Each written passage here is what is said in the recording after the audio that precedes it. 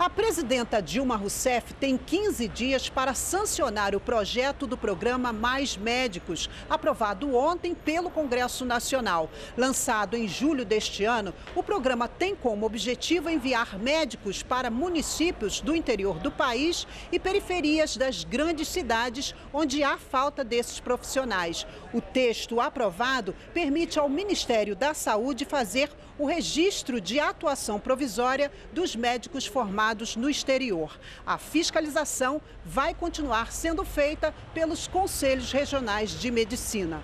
De Brasília, Mara Kenupe.